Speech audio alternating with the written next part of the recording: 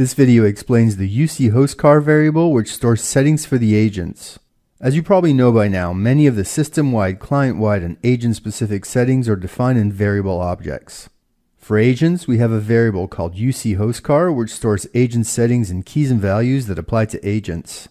The system can be configured so that agents can either rely on a set of default settings which are stored in a variable called UC_HOSTCHAR default, or they can have their own custom set of settings, and we'll show how to set this up next. The way the system works is as follows. This setup applies to client 0 only. It cannot be propagated to non-zero clients. In the host variables folder of the process assembly perspective, we find a variable called UC_HOSTCHAR defaults. This stores default settings for all agents post-installation. You have the option of creating new variables and substitute the variable extension, in this case defaults, with one of your own. In this new variable, we'll be able to make adjustments to the settings so that they apply specifically to one or more agents. Then, in the X variables folder, we find a variable called UCX UC_EX_HOSTCHAR. This variable contains a map between your existing agents and your UC_HOSTCHAR settings. By default, they're mapped to defaults, which means we'll use the UC_HOSTCHAR default variable. But if you add a value and substitute default with a text string that you used in your new UC_HOSTCHAR setting, then the agent will use that variable instead. The important aspect is that the text string you use has to match the extension. Let's start by looking at the agent settings and create a new variable.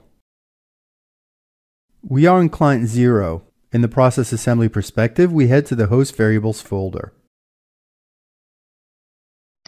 In the folder, we find the UC_HOSTCHAR default variable. This stores all the settings for all agents by default. Let's consider some of them.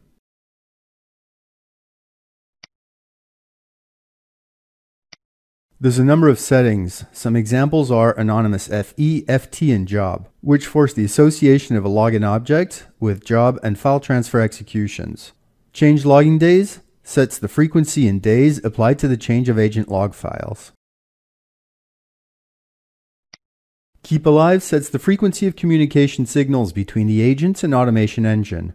Workload max FT and job Set the maximum number of execution resources for jobs and file transfers. As you can see, all of these values can be customized.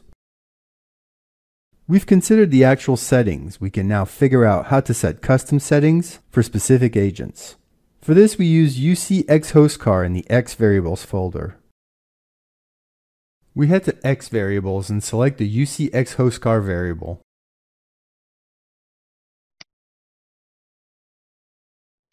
Here you find the list of agents currently deployed in your environments.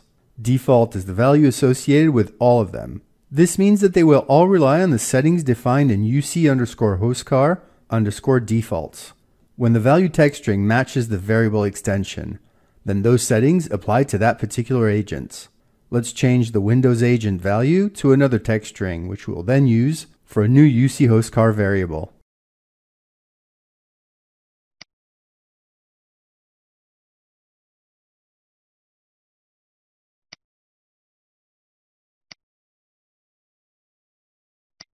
We duplicate our default to create a custom variable for our Windows agents.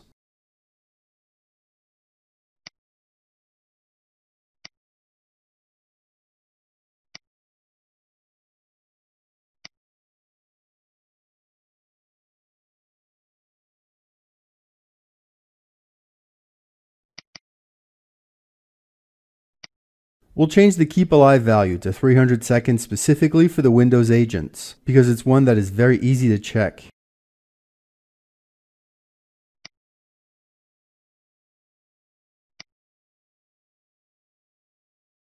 All we have to do is renew the agent's transfer key to enable the new value.